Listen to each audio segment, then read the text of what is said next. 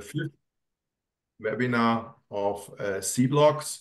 It's a EU-funded project uh, under the heading of uh, DG Connect to promote standardization in the area of, of blockchain and this distributed ledger technology.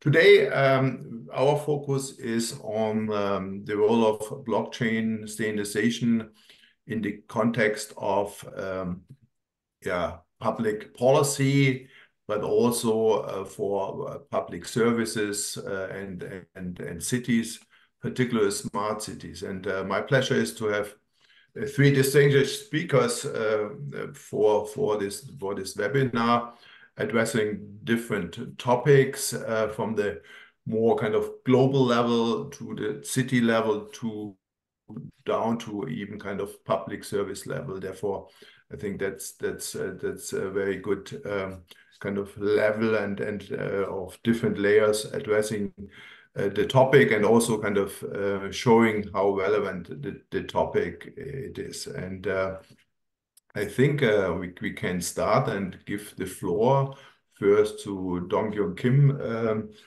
who is a um, press, uh, professor or, or, senior lecturer at the University of Glasgow. But uh, yeah, uh, he's joining us today from Tokyo, and uh, his talk will address the, the geopolitical level and also putting Europe a little bit into the context of uh, blockchain standardization, how other uh, regions are dealing with this topic, and uh, is maybe a little bit the the cover for for our webinar. And therefore, I um, am happy to hand over to um, to Dongen. We are waiting certainly for further participants, but uh, also welcome to the participants, and you can also use um, the, the, the question and answer um, kind of uh, opportunities uh, in the chat to to raise your questions to our distinguished speakers. But now I uh, give uh, Dongen the floor. Thank you very much for your kind introduction. let me share this slide here.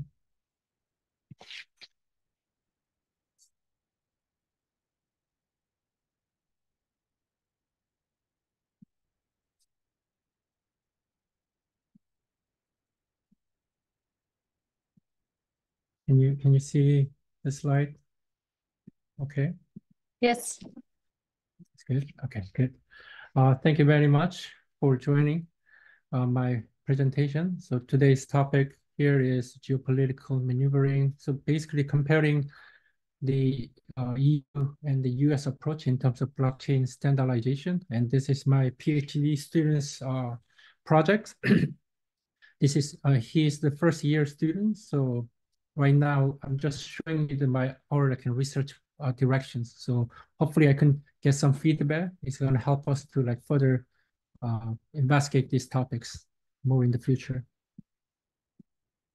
So cryptocurrency right now, uh, we have like, you know, more than 9,000 uh, different type of cryptocurrencies. Uh, as you could see, the number of cryptocurrency dramatically increases, but uh, after uh, 2020 November, the number uh, drops a little bit, and after that, the the whole number of cryptocurrency has been a little bit more stabilized. What happened was in uh, uh 2022 November, there was kind of a series of events. One is the uh, Luna Terra uh, cryptocurrency, they meltdown. After that, there's FTX uh, went bankrupt. So there are FTX is cryptocurrency uh, exchange. So because of those hiccups, market send a like signal that we need we need to have a more stable form of like you know cryptocurrencies, and because of that, people start to pay attention to what is the more stable form of cryptocurrency, and the one of the very important like you know alternative of cryptocurrency is the stable coin. So now people start to focusing on the what is the more stable uh, type of like you know, stable coins. So that's something I'm going to discuss, the standardization approaches to stable coin. And after that, Bitcoins, right now, the value has kind of went up again, this dramatic decrease, but now the whole the price start to like you know uh, gain a little bit more you know, attractions now. And then one one of the important notice after the 2022, Bitcoin become like you know strongest the cryptocurrency in the world. It means people looking for more stable uh, cryptocurrency rather than choosing the risky uh, uh, cryptocurrency. And the Bitcoin is the most like you know, noticeable uh, cryptocurrencies and well-known cryptocurrency. So now people start to uh, try to buy more uh, Bitcoin rather than other type of risky uh, cryptocurrencies. And even U.S. government has increased uh, their Bitcoin holdings since the, the bearish market trend in 2021 or 22. So the research gap is there are some research focused on this uh, blockchain standardizations, and there are some studies focused on the geopolitical perspective standardization. So what we want to look into it is this like comparing different approaches to blockchain and also see how these geopolitical issues play a certain role in the like you know certain different approaches. So US, the most important actors here is the NIST uh, and then uh, ANSI. So NIST developed uh, certain cryptographic standards. And then this, the, there are many working groups, but the most important working group is those experts focusing on the uh, cryptographic technology. And those cryptographic technology working groups start to develop other type of like, you know, more in-depth uh, cryptographic standards. And then on NIST IR, the internal report uh, 8301 is the most important document in terms of token design. So they talk about how they're going to standardize cryptocurrencies uh, approaches.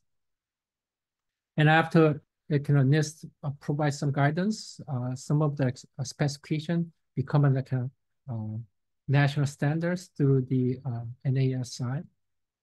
But th this is one of the important differences here is like, you know, US has made an effort, more like a first mover efforts into these token design aspects. So Europe also uh, do a lot of like standardization in uh, in terms of blockchains, but the the one one of the like a slight difference we identify here is is US is more focusing on financial actors, the particular application of this blockchain technology within this uh, the cryptocurrency uh, uh, domains, token domains. That that's where the Europe wasn't really quite advanced in terms of token design or other like application.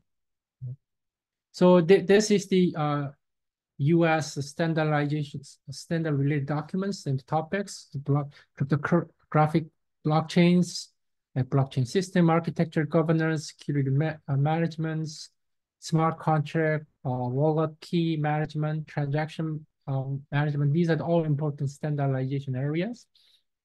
But in terms of application, you see the identity issues, identify things like Internet of Things, supply chains, and fintech. Related to the fintech, there are many different form of standardization activities happening uh, in the US. But when I look at the uh, Europe, the the one of the noticeable differences is this financial element. So there's less activities is ongoing in the Europe's standardization uh, in terms of blockchain. So US is way more focusing on these uh, fintech related activities.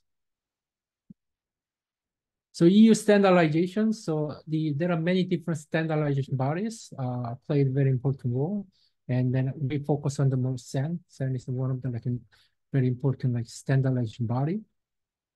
And then like ETSI and then other like standardization body do their own activities in terms of blockchains. So coordination between these different standardization body is not quite there yet. So I'm, I'm not really sure they how they coordinated this whole blockchain activities in terms of like different standardized bodies. Um, that's that's something that uh, Europe need to think about, like how they're gonna coordinate this whole blockchain uh, standardizations across the different standardization bodies. So in terms of CEN, uh, CEN like, you know, heavily involved in the ISO. So they try to align the, all the standardization activity with ISO. So many the uh, standards is kind of referring to ISO standards. right? So they try to have more consistent like, you know, approaches with the ISO. And in terms of application, the noticeable application is the identity, digital identity wallet standards and the blockchains. Uh, so that digital identity is something that Europe is uh, focused on a lot. So many standardization activities is kind of revolving around the digital identity. That, that's something we uh, noticed. So because the CEN are usually referring to the ISO standards in terms of blockchain, so I, we look at the blockchain, ISO blockchain standards. So ISO standards comprised of like 11 published standards, like incomplete, uh, incomplete eight standards in development, six standards like pertain to blockchain. Those are the like you know, area. Uh, but but you can see in terms of use case, like you know, Internet of Things, food, uh, industry, traceability, and the conformity assessments, like semantic resolution exchange. But financial services, when I look at the financial services, they usually looking at like, you know, security in the public uh, key infrastructures. So it's more related to the cryptographic uh, technology itself rather than like an application into the uh, token design and cryptocurrency. So there are limited application in the the token design standardization in Europe. That that is something we noticed. So now there are new regulations coming up in the uh, EU, which is very important, called is MiCA, and that's something I'm, I'm going to discuss a little bit more. So stablecoin played a very important role nowadays. Uh, and then the stablecoin has a little bit of bridge wall between the cryptocurrency and fiat currency. Basically, what crypto uh, stablecoin does do is, is they peg the value of cryptocurrency to the US dollars or the any other fiat currency. So it is they stabilize the currency uh, value. It's a because like one of the problem of uh, cryptocurrency is the their value uh, change uh, quite often. So volatility of the value of cryptocurrency is one of the big problem uh, because they cannot use this cryptocurrency for uh, the transaction purposes. So because you cannot predict the value of these the cryptocurrency because they change every time, every moment. So in order to fix this problem, they try to peg value of the cryptocurrency to the US dollars or the Europe dollars. Uh, that, that is the way to solve the problem. That, that's what we call as a stable coin. And the US is more prioritizing like regulating stable coins from the financial uh, market perspective. That's something I'm, I'm, going to talk about a little bit more. And then uh, EU has their own like, you know, one single market approach. So try to harmonize all different like, you know, regulatory systems within EU, but also not only within EU, they want to uh, expand their regulatory power to the other countries as well, as typically uh, the EU try to do in terms of digital regulation, which is called oftentimes called Brussels effect. So this is another example of the Brussels effect uh, of MiCA. And then this MiCA try to formulate new regulation and protect, promote the creation of Euro-backed stablecoin. That that is something important. The the some of the people in the uh, European agency uh, decision-making process, they see a lot of stable coins now based on the US dollars. So that actually increased the dollars, the power too much. So every the new currencies revolving on the US dollar, right? That increase the value of the US dollar more. So they see this is part, part, part of the problem. So in, in a way to, to counteract this dominance of the US dollar, they want to promote certain stable coin which is backed by euro. So there's a little bit of uh, geopolitical competition is happening in terms of standardization activity or regulatory activities as well. So uh, US approach, from my perspective, it, it is more financial market driven in uh, blockchains. So US, like a standardized stablecoin has a very important use case of the blockchain. And so basically, the all like you know uh, financial market played like, played a very important role, and then even the U.S. regulatory body, uh, the SEC, Securities and Exchange Commissions, they try to regulate the uh, cryptocurrency because because they see this coin uh, cryptocurrency as a financial instruments. So this is big debate on in the US whether the cryptocurrency are the financial instrument or not. So some people argue it is not, some people uh, argue it is. So that, that is a very important debate on the definition of the financial instrument, whether uh, these cryptocurrencies part of the financial instrument. If it is part of a financial instrument, it means it has to be regulated under the existing financial regulations. So whether we're going to apply the existing financial regulation or we're going to create a new regulation. So that, that is a big debate on this. And what EU try to take is a different approach. They want to create a new regulation to regulate this emerging phenomenon, emerging technology, rather than applying the existing financial regulation. So that's where the differences come from. So EU, they try to create a new regulation called as a MiCA. And then when you look, read this European ICT role, rolling plans, this is one of the very showing the strategic direction of the uh, EU. They clearly recommended the recommended action is the European Standardization Organization. They need to should develop the standard needed for introduction of programmable euro, right? So and the token economy. So basically, they want to support the creation of euro-backed stablecoins. They clearly uh, show their intention. They we need to support these euro-backed coins. This is one of the like you know, the motivation behind the geopolitical competition.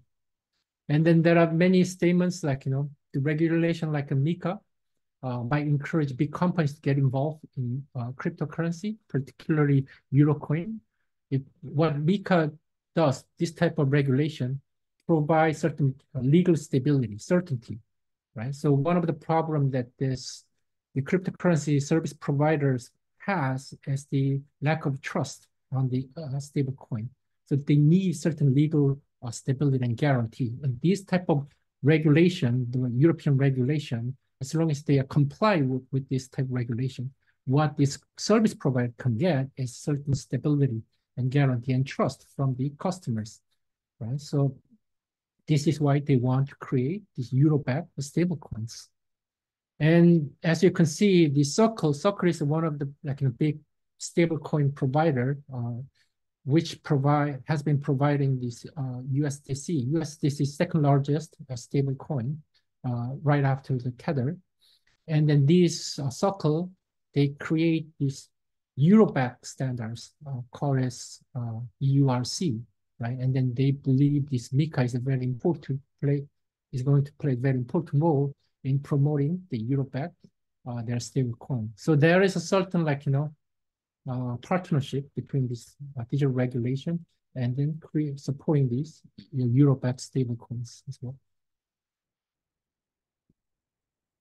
So in terms of EU standardization uh, with regard to MiCA, so MiCA, uh, they regulate this kind of whole rules of the cryptocurrency within the euro market uh, and then also harmonizing this uh, technical regimes.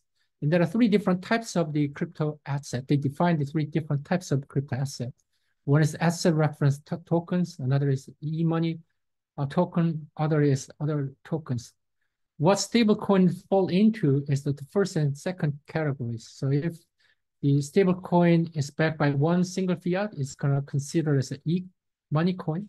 If it is kind of backed by the commodities or the other different type of, at least like, you know, more than one, uh, the fiat currency, uh, they're going to consider as asset reference coins and token. And if they fall under this category, they need to comply with these MiCA regulations. And what this regulation says, they, they require the ESMA, European Security and Market Authority, to submit the draft standards and the regulatory standard and the implementing standard. So clearly this regulation shows that this the authority need to develop these certain technical standards and the implementing standards. So in that way, these standards will play the very important guideline how this cryptocurrency has to be uh, managed. So when we look into the like you know the more details of MiCA, what MiCA want to emphasize. This is one of the most important regulation in my perspective. What MiCA want to do is they ask for some authorization of the cryptocurrency. So if you want to provide service in terms of cryptocurrency, you need to uh, get some license in the Europe, right? So in order to get a like, you know, license, you need to provide, meet certain requirements. And one of the requirement is uh, the information uh, submission. So the one of the big problem of the cryptocurrency right now is the information asymmetry. So only one is a small group of people uh, monopolize all the relevant information, and then the all other users do not really don't understand what's really happening within the systems. So what this MiCA regulation one is to increase the transparency. So they ask this company service provider to provide the information, all the relevant information. And that way the customers will have a better uh, information about how this cryptocurrency system actually works. So the information about identity, the programmable operations, like you know, governance arrangement, internal control mechanisms, and the segregation between the like client's asset and funds and execution policy, and then like you know, commercial policy. They ask this service provider to provide this all this information and how they're gonna provide the information. They uh, try to comply with this technical or regulation uh, standards. So standard will play a standard will play a very important role in meeting these all the important requirements in under the MiCA regulatory regimes. But what one thing I, I noticed in the in the the in the decision-making process of the MiCA regulation uh, in the past, there are three different options the European Commission considered. One option is creating the customized the stablecoin approach, right? They're addressing all the problem with respect to global like, you know, stablecoin. Second option is applying the existing financial regulation. And third option is just looking at only the EU issues rather than the global st uh, stable coins. But ultimately, what the EC, the uh, European Commission, chose the option of applying the creating the MiCA was the creating the customized stable coin, customized regulation for cryptocurrency, which can be applicable to the global uh, cryptocurrency rather than EU, smaller. So it, clearly shows that uh, it is the EU's intention to uh, highly involve in this global uh, cryptocurrency area and then play certain very important role in, in, this area. This is why the geopolitical tension is very important to understand this whole dynamics. And in importance of sta uh, stable coin is because it's going to play the very important in the DeFi uh, environment.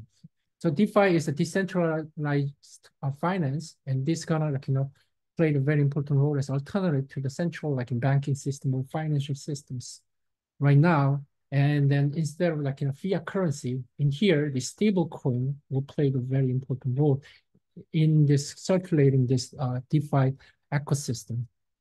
But because the, all the stable coins is uh, US bank system, this is why Euro see as this Europe this is a sort of problem because it is linked to all the business and financial uh, alternative ecosystems.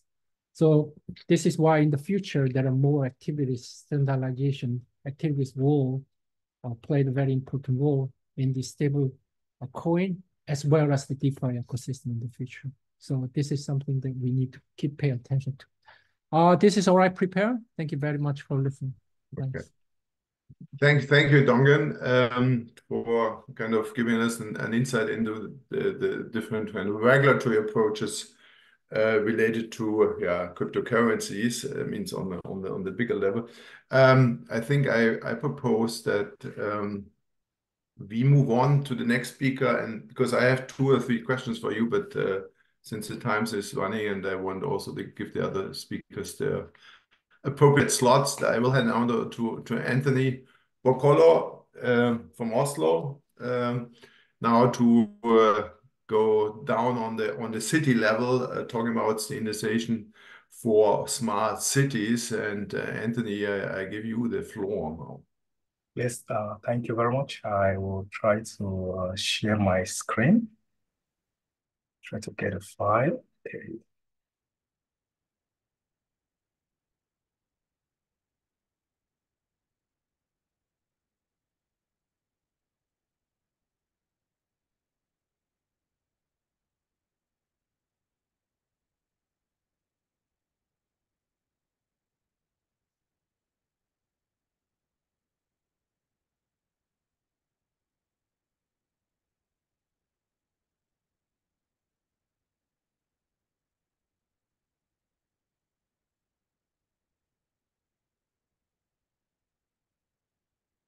Can you see my screen? Yes, very well. Thank you. Can you can you see my screen clearly? Yes.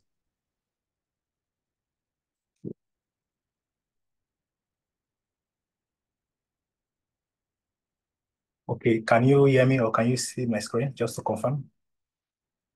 All, all good. Go ahead. Okay, yes, yes. Thank you very much. Uh, today I'll be presenting about uh, one of my uh, current studies uh, uh, on the DLT standardization. And this uh, study is already published in this uh, journal. So it's about uh, a framework that was developed for the standardization of uh, DLT, that is distributed ledger technologies, uh, for interoperable data integration and alignment, mostly uh, in the sustainable smart city uh, domain. So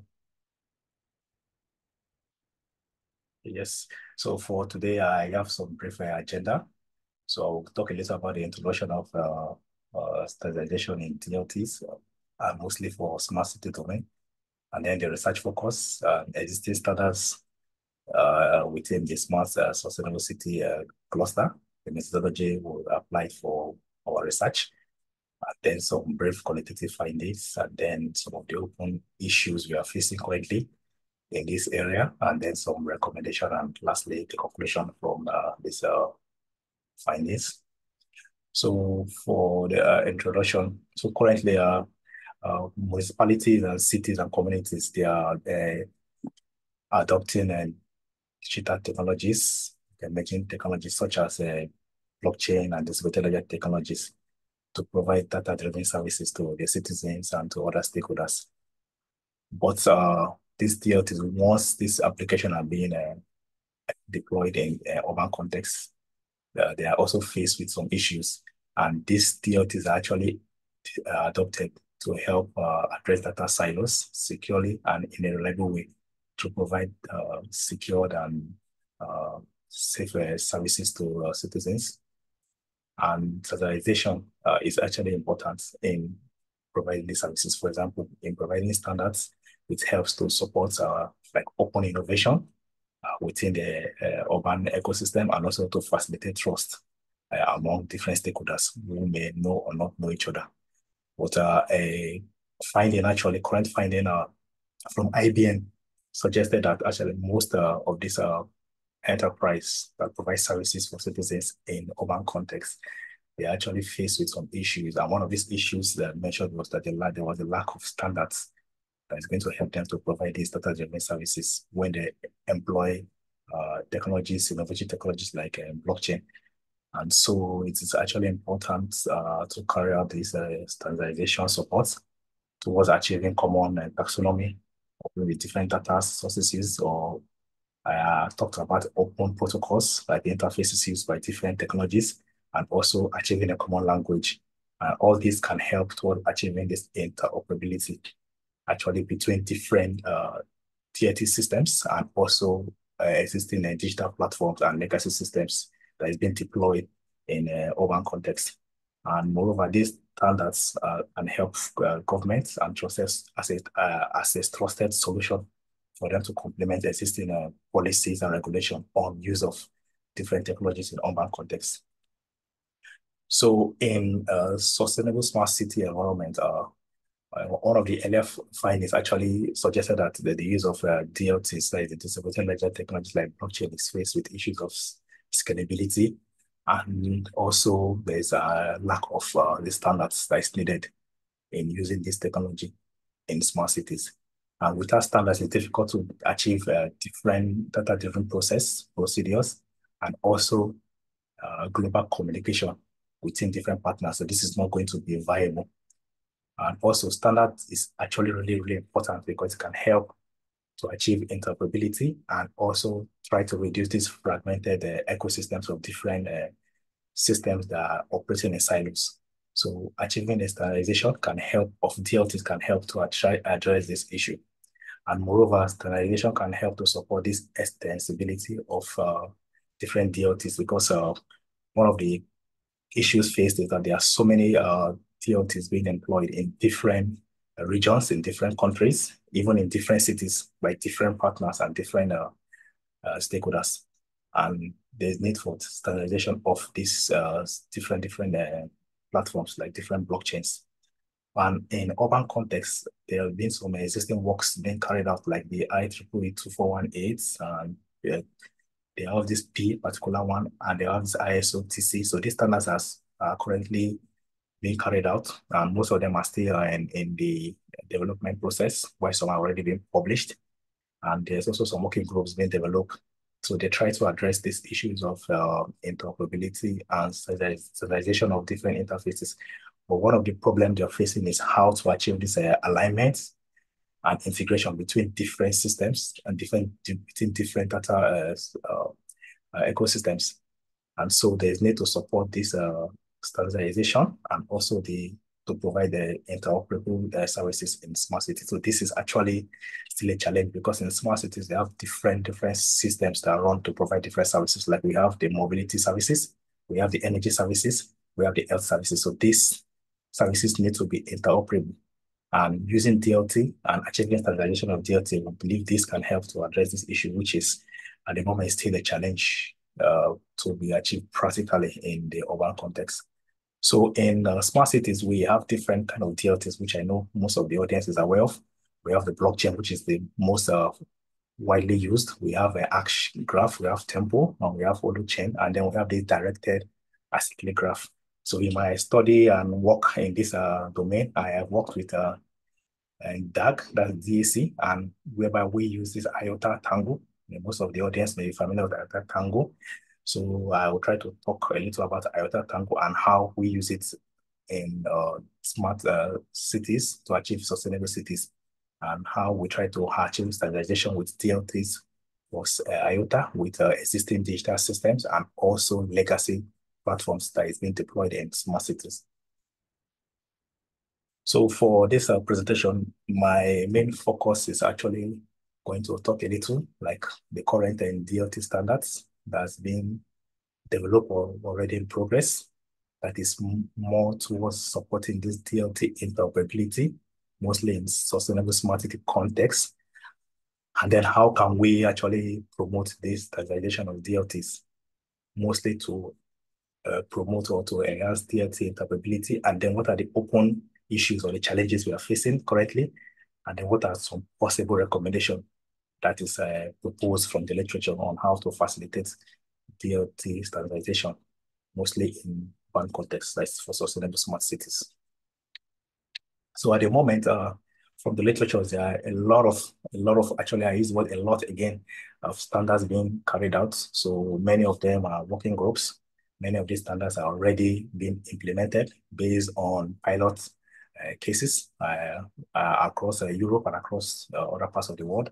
So one of the most uh, popular uh, standards is, oh, so one of the most popular standards is the W3C uh, standard for DLT, whereby they try to address a uh, uh, standardization of blockchain and they provide some guidelines. And then the ITU standard is also another standard being uh, carried out recently. And then we have the IEEE and then the ISO and TC 307. So these uh, four main standards are the leading standards in uh, DLT standardization that is applicable mostly for the smart and sustainable city context. And also there are also other standards like the Internet Research Task Group, uh, FOSS. They're also working on standards in this same domain. And then we have the ANSI, uh, accredited, accredited uh, standards committee. And then there are other associated uh, standards, about 12 of them uh, across the world. Also working on blockchain standardization. So from this, you can see that there's a lot of work being done in this area. And this shows the importance of uh, standardization for the DLT ecosystem. And this is based on the potential of this technology for not just for smart cities or for sustainable cities, but for other domains uh, in the society. And also, uh, there's this uh, ISO working group that is working on uh, blockchain and DLT development. So they have these seven uh, subgroups in each of them. So they have this the working group. Uh, we have the groups that work on possible use cases that this technology can be implemented on, and then they have the group on security, privacy, and identity uh, management of the assets or for, for users, and they have the smart contract working group, and then we have the governance and the interoperability group. So for my research, I mostly work on the last two, mostly on governance and on the interoperability part. How can we govern the use of uh, blockchain, for example? Most of the existing work actually employ blockchain to govern existing systems. But how do we govern this blockchain? Who use blockchain? Who develop blockchains, for example? Who write this code? And who are the key stakeholders for using this uh, technology. So I actually work on that. And I also work on interoperability of blockchain. So for this, I also work on the interoperability of blockchain, how two or three different kind of blockchain can work together. They are different. For example, Hyperledger connecting with Ethereum, connecting with the IOTA Tangle, and how can blockchain work with each other, same blockchain like interoperability. So I uh, mostly do some research on interoperability and interoperability of uh, distributed ledger technologies. And so I will show a little of uh, what we design uh, in our project. So we have this uh, project that is uh, funded by EU. It's just ended last year. It's uh, called City Exchange. So the idea of this project is we try to uh, develop a, a, feature that we plan, we, we intend to live in. It's a project that was carried out in Norway and in Ireland. And then we also have 26 other partners, like 26 partners, core partners in the project. We have the lighthouse cities and the follower cities. So one of the goal we we plan to achieve was the first was to prototype the future, and then we enable this feature, and then we accelerate the future. So we carried out an integrated planning and design on using different modeling techniques to provide digital support tool, and then we developed like a common energy market. And one of these technology we used was blockchain. So blockchain was used for the peer-to-peer -peer, uh, energy trading and energy sharing and energy tracking to know the energy provenance. And also we used blockchain also like the IOTA Tangle for electric mobility services. And then lastly, we carry out a community engagement. So in carrying out this project, this is just a summary of the project uh, in, I try to, I try to uh, like uh, summarize in this slide. You can uh, look more about the project from this uh, website uh, if you want to know more. And we developed this uh, architecture, like a uh, framework. So we have employed a design science approach, whereby we came up with an architectural model that helps to address uh, data alignments and integration from different uh, systems. So due to the time constraint, I'm not going to go into detail of this uh, uh, architecture. Uh, I already explained this in this publication I'm actually discussing about. So we try to use this to see how uh, distributed ledger technology can achieve uh, energy sharing, uh, secure and safe energy sharing, transparent, and also a, a by also considering the GDPR aspect of uh, the users when using this technology. So we carried out a simple, I would say a simple methodology whereby we developed, first of all, the framework stack, which I just showed in the other right-hand side of the slide, the different layers. And then this was developed based on secondary data from existing policy documents, from existing literatures uh, on uh, uh, architectural development. And then we identify different use cases on, and we identify different KPIs or smart city KPIs that we want to measure. And then we collected data to validate this standardization uh, framework. And then based on this, we had some preliminary findings, and then we did our modeling based on the feedback we got from the experts. So we, I showed three three main uh, case uh, uh, areas. Integrated planning and design is one. This common energy market, and then the community exchange. So based on these three areas, there's three different use cases that was explored. So the first was this distributed energy trading market platform on how we can develop this project using uh, distributed energy technology. And then second was this seamless electric mobility system using DLT. And then we have this planning and design of the positive energy district, whereby energy is traded, energy is shared, energy is generated uh, using a renewable energy source. And they'll try to show how we can achieve a standardized ecosystem using DLT to enable the interoperability with uh, existing uh, digital systems that is developed in the urban context and also these legacy systems which were already running. So the idea is to have this uh, the digital ecosystem like energy as a service, uh, mobility as a service, and data as a service. And this is enabled by uh, DLT. So three main uh, cases was explored. So the first is achieving this common energy market. Uh, a second is increased uptake of e-mobility solution, and last is the planning and design. So in uh, carrying out these use cases, we developed uh, uh, systems using IOTA Tangle. So if you want to know more about IOTA, IOTA is one of the uh, DLTs. So it uses a DAC, which I showed from the initial uh, start of the slide. We use this technology and then we try to employ it in these uh, use cases. So this is an example of uh, the use case for the energy uh, marketplace. So I did this development. Uh, this was done uh, about uh, 2021 when the project were, was started. So we try to model using uh, this software called ArchiMate uh, Enterprise Architecture Modeling Language so I try to put the link of the tool here and I'm not going to explain what this notation means. So there's the explanation of this here. So this tool was developed by this open group. So they developed this tool. So using this tool, I try to develop and conceptualize the energy marketplace uh, ecosystem that shows how all the systems in smart city connects together. So this is like a model of the application we developed. So this was the model, and then the system was developed based on this. So I will just go through. So we had the physical infrastructure layer, where we capture the physical uh, energy metering and sensors, and then we have other physical devices like the electric cars and charging instruments. And then we also have all that technologies that is being developed, for example, like micro payment infrastructures. We have the IOTA assets. So the IOTA is the IOTA Tangle, the DLT physical infrastructure. And then we also have the IOTA Tangle, which is employed as the backend, where it gets all the data from different uh, sources, comes to this uh, platform. And then we have the application that is powered by DLT. And then we have the different companies that integrate together, that work together to provide services. So we provide different services, and this is the goal we aim to achieve. So scalable, interoperable, peer-to-peer energy trading. So this is just an example of how we try to achieve a standardized ecosystem for an energy marketplace. So the idea is how can we standardize DLT with existing uh, platforms that is already running, both legacy systems and other digital systems. So this is just one of the examples.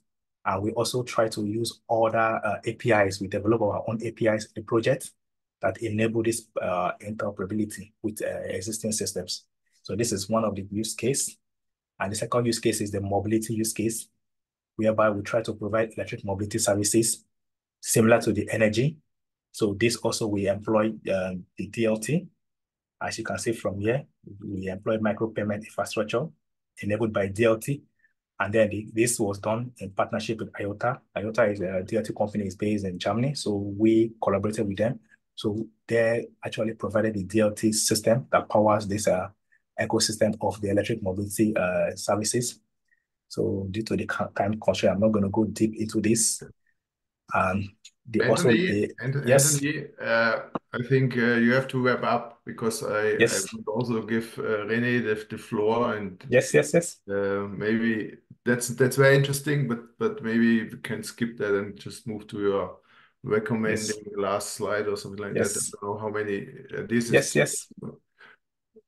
Yes, so uh, overall, One uh, minute. in, uh, One minute. yes, yes, yes, one minute.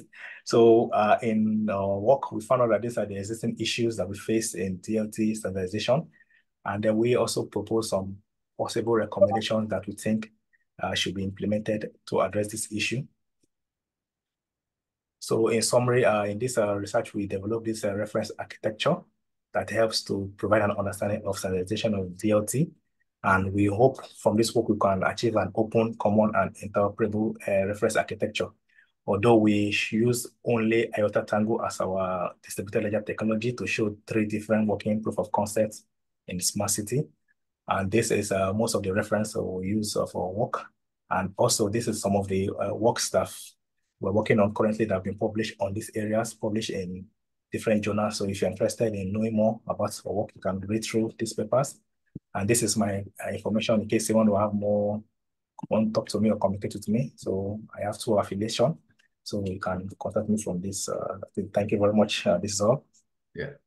Thank, thank you, Anthony. Um, very, very interesting. Um, and therefore, you have already some questions in the in the Q and A section.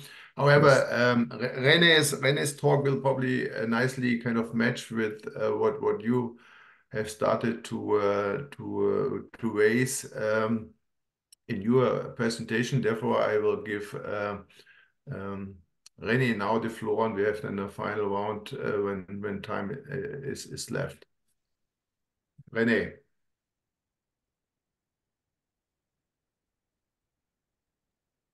Yeah. So hello everybody. You should see the screen now. Yeah, perfect. So I can start. Thanks a lot for the previous presentation. It looks that um, that um, that uh, a lot of people already know what standardization is about and that they already discovered the most important standardization technicalities. Uh, I will talk about uh, in a short presentation. I will try to make a bit um, less time than to to uh, to to take the time which uh, which I lost a bit to the other presentations back a bit. So we have uh, three different topics in my presentation. The first one is generally to to say something about and research innovation projects, which is uh, also in the, in the face of uh, Anthony was just talking about another project. So I would like to raise this issue shortly. Then I will come to um, to the outcomes um, uh, of standardization activities of the Impulse project, which is on blockchain and DLT management. And uh, then, which is one quite important uh, aspect, uh, which I heard a lot now, it's about very much, um, and it's a lot of standardization committees existing, but there's not mentioning how to actually engage with them. So uh, I would like to address this as well in my last uh, slides. Uh, for regarding standards and research innovation, there's been um, a project called um, BRIDGIT, or Bridging the Gap in between research and innovation, which results are available on the standards plus website. Here we have analyzed um, um, that um, that standards standards are a catalyst for innovation. That it supports, for example, 40 billion of the approximately contribution of standardization to the economic growth in Germany, France, and the United Kingdom each year. And uh, it's, it shows also here um, that more than 200,000 experts are actually involved in standardization only on European level. And uh, that, uh, of course, standardization, as mentioned before, has a lot of different benefits, which I'm not going to in detail too much now at this stage. Um, just like to just shortly mention, because I think it's quite crucial to consider why you include standardization, why you should um, use different standardization activities in a project. It's first of all, of course, what um, what the other my my two previous um, um, um, speakers said is like you have to analyze actually, actually what kind of standards are existing on the topic in order to use them or in order to be able to say, okay, there could be a contribution possible. Then, um, based on this, you you should um, identify the standardization potentials which your project might have to contribute to these activities. And usually you identify more than only two or three act, uh, activities to which you can contribute. For this reason, you should think about a standardization strategy, well, how you could maybe develop an own standard from your activities, or you uh, contribute to existing standardization work of technical committees. Then you conduct the activities, and a very, much important um, aspect in the end is also to disseminate and exploit the standardization activities because the um, the, the um, they have to be visible in order to be used uh, because the standardization system is um, providing the information, but the experts and all of the, um, the ones who are using the standards need to to to raise awareness on them as well. Uh, just like to mention, because I have seen um, several times now different aberrations of standards. So you can see here on the on the right hand side the standard which are widely used here from today uh, from from ISO level, from international level, but we also have the European level. CENELEC was mentioned from the first speaker as well. Then we have the national level, different standardization bodies, and just to mention that the, the different standardization bodies on national level, they are contributing with the experts to European and international level. Then we have um, this kind of pre-standard work, which is in the technical committee, uh, like this uh, technical specification, technical reports. And uh, if you do not do it on a, on a committee level, there's also a possibility to do it, uh, for example, directly from a research project. Then you can develop uh, um, a document such, such as a CENELEC workshop agreement, uh, which is not in the structure of a technical committee, uh, or in on national levels, for example, in Germany, we have DIN specification. And important here, it's an open body of experts, so everybody can join these activities in, co in comparison to the consortium standard, which is a closed uh, body of experts. As mentioned before, standards-innovation.eu is a website which we have developed, and there's also uh, e-learning on standards uh, and innovation if you're interested to learn more about it. Now, coming to the um, uh, the Impulse project, which has received funding and was finalized in the end of January this year. And uh, this Impulse project is about identity management in public services.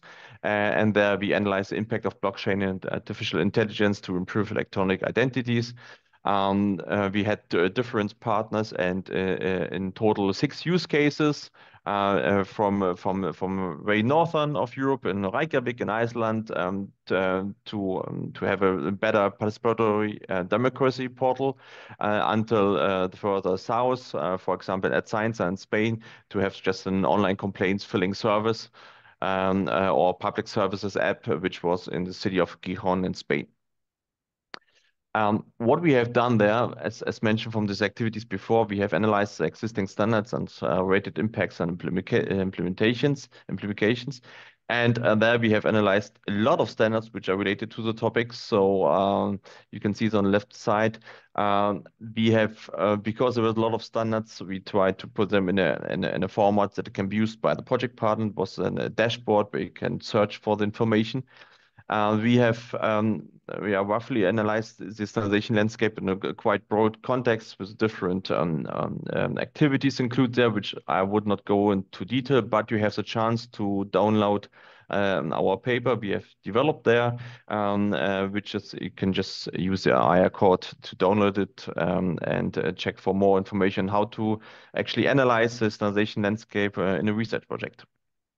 But in fact, the most important, of course, what comes out of this analysis. And here you can see um, um, a, a, couple of, uh, of, of documents. Some of them have been already mentioned before, but some of them not. And I would uh, raise not here the attention to the international one. I would like to raise the international uh, the attention to the national ones because you have to imagine that usually um, and the proposal for a standard is always coming from a national point of view and then it's triggered to European or international level. So it's not uh, usually directly developed um, on, on ISO level um, in the in the phase of the development of the document, yes, but not on the preliminary stage. So somebody has to make the proposal.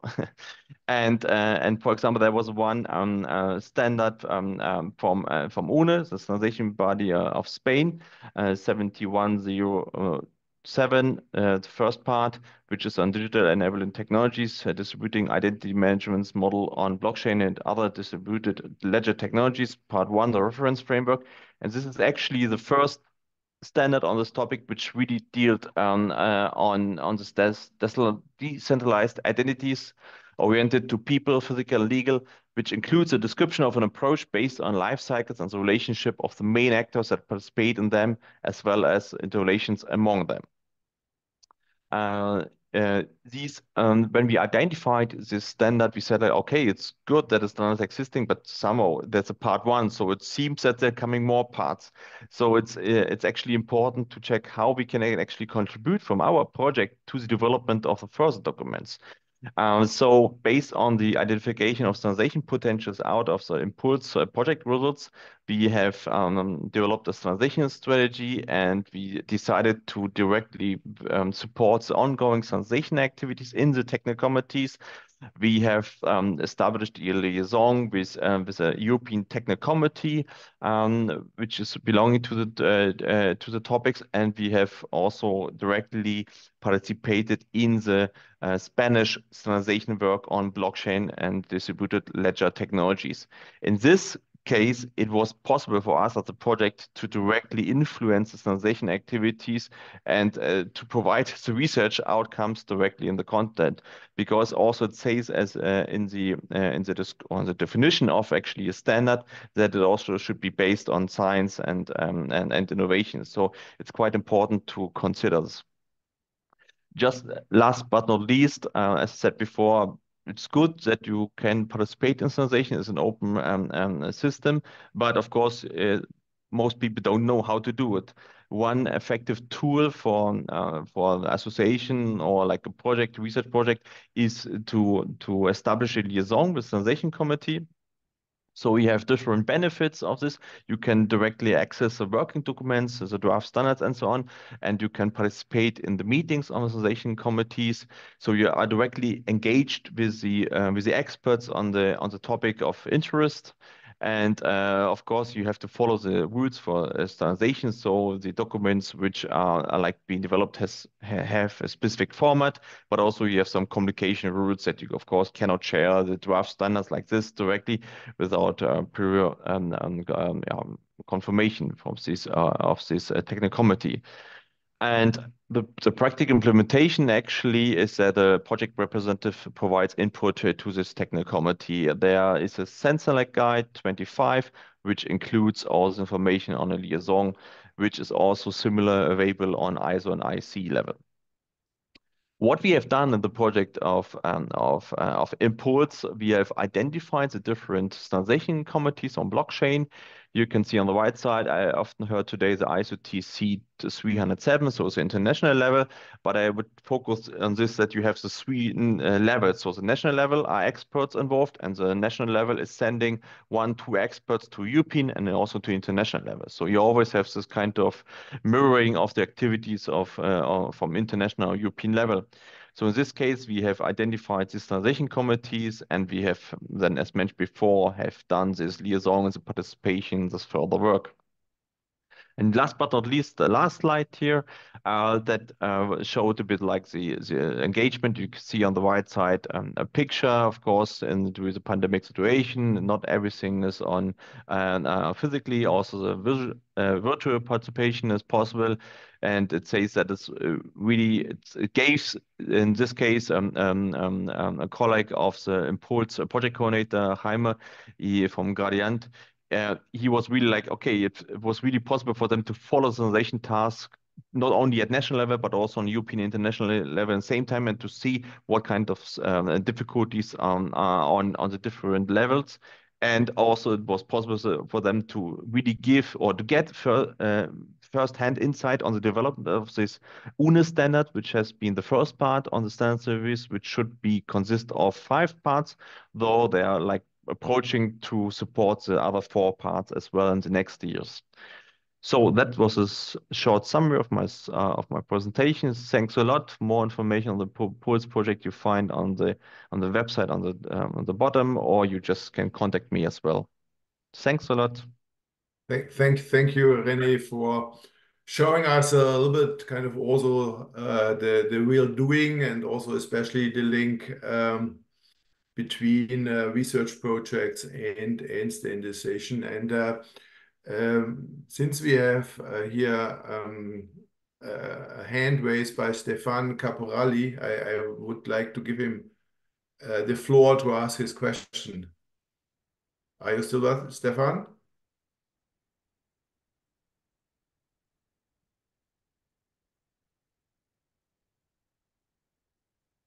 No.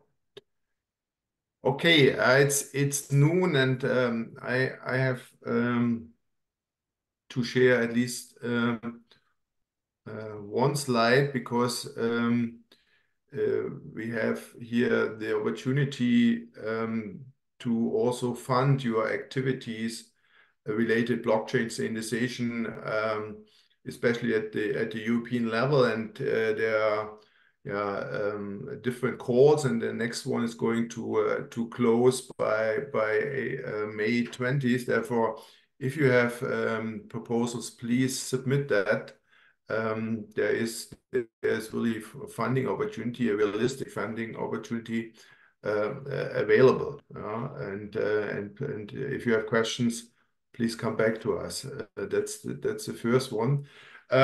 Yeah, there's more going on regarding blockchain standardization. Um, it's the Blockchain uh, Ireland Week uh, in Dublin, um, and also an IEEE International Conference on Blockchain and Cryptocurrency uh, um, hackathons. That means that's all taking place the end of May, beginning of June in Uh, Dublin. And um, and finally, also uh, a hybrid workshop in Osaka at the COMPSAC uh, conference at the beginning of July, where we have received interesting um, submissions. Um, now, there was here somebody in the chat. Is Stefan now with us? No.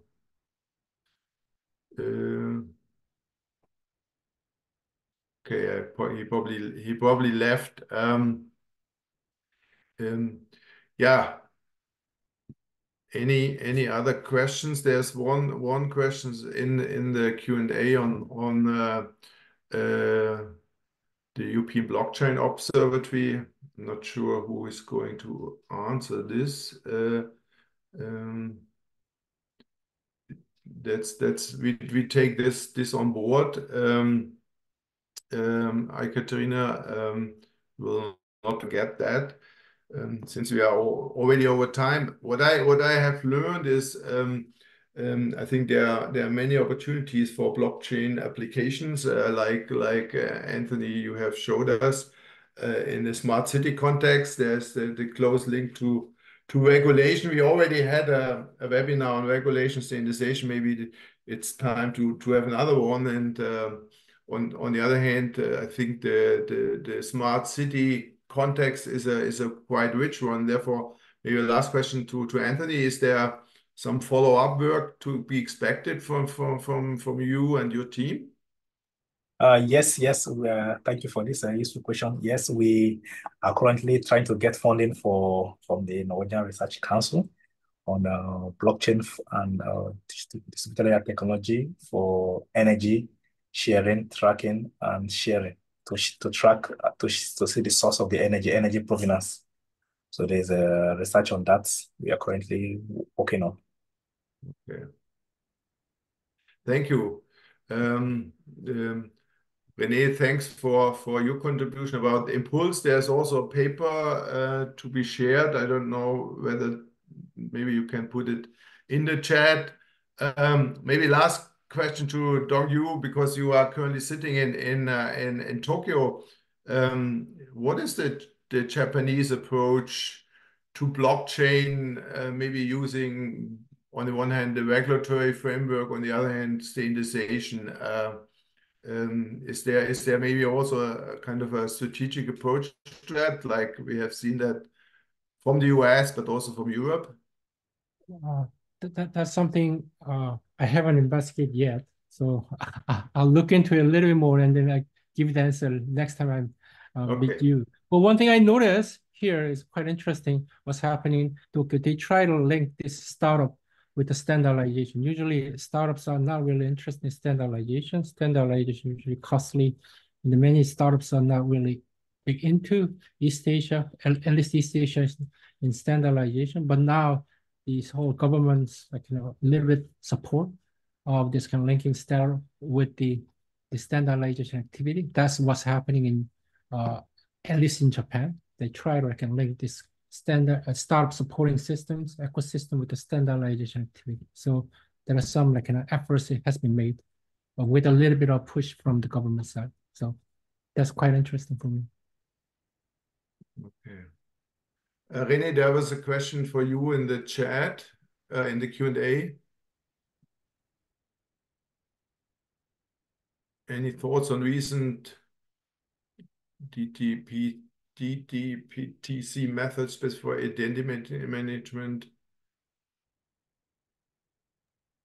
Unfortunately, I'm, I'm not that expert on the topic. I have spotted it. It could be a question that could be raised to the to the colleagues of um, of the Impulse project. So if you want to contact me, just feel free to do so, and I can forward this. Okay. Good. Um, I, and also the other question we will will answer by by email, um, because I have not really a right answer to uh, to Ekaterina uh, now. Um, since I see potential to uh, kind of continue and maybe replicate what what uh, has been presented today, and also there was some feedback from uh, the participants, um, we will certainly set up another webinar. Maybe, I'm not sure whether before or after the summer break, but but definitely more is going to come. And if you have other completely different topics we should address, we welcome both ideas, but also proposals for contributions to our webinar series. In this context, um, with running five minutes over, thanks first to our three distinguished speakers for for your very interesting uh, presentations. Um, all the, the, especially Anthony, your paper is also published, uh, public available. Um, therefore, I think I came across you, and uh, and Duncan, probably some some papers will be soon out by you on this topic. We are maybe going to share also with the community here, maybe having another webinar. We thank also to the to the participants uh, for for your questions. Um, the the two open ones we we uh, we try to to answer bilateral. Thanks for um, the the background work by Mathilde and his team from from Trust IT. Uh, and in this context, I wish you a nice lunch, a nice nice weekend, and hope to see you soon here on the SEEBLOCKS side. And again, there's funding opportunity, uh, which you might really take advantage of. Uh, deadline May 20th. Thank you, and see you soon. Thank you. Maybe in Delft or another location. Bye-bye. Thank you. Bye. Thank you. Bye, René. Bye, Bye. Bye. Bye, Duncan.